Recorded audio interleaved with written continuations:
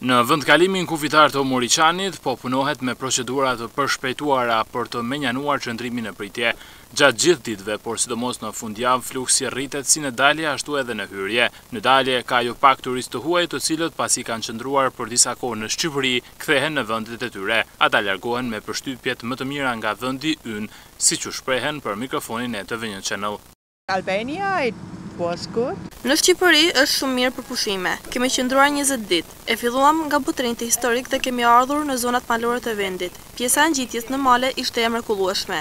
Çmimet në rajonin e veriut në krahasim me jugun janë më lirë, por, gjithsesi, të arsyeshme. Ndonëse në jug, çmimet duhet të jenë më të ulëta. The people are nice, very nice. Njerëzit janë të mirë dhe shërbimet janë të mira. Vendi juaj është i bukur. Çmimet janë shumë më të lira në krahasim me Austrinë. Kam vizituar Shkodrën, Durrësin dhe Beratin. Largohem me përshtypjet më të mira nga ju.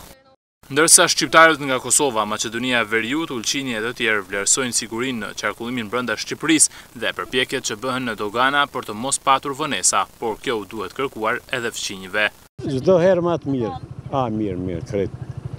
Këta për Shqipni ma mirë se atje, se këta s'bojnë shumë kontroll. Fantazi, s'kom, s'kom çka me thonë, se unë jam prej Kosove edhe kom qef edhe Kosovë edhe Shqipni, s'ka fjalë. Për mu krejt mirë, tash nuk, edhe shërbimi, edhe rrugat, edhe policia është, policia besa s'ka gati hiç, mund është me grasë, s'ka.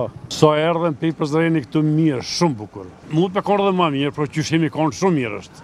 Po, shumë mirë është. Gjatë dyzet e tetë orëve të fundit dhe deri në orët e drekës së të shtunës, sipas Policisë Kufitare, nga vendkalimi kufitar i Muriqanit, kanë qarkulluar rreth njëzet e shtatë mijë shtetas dhe afro tetë mijë automjete, pjesa më e madhe e tyre në hyrje.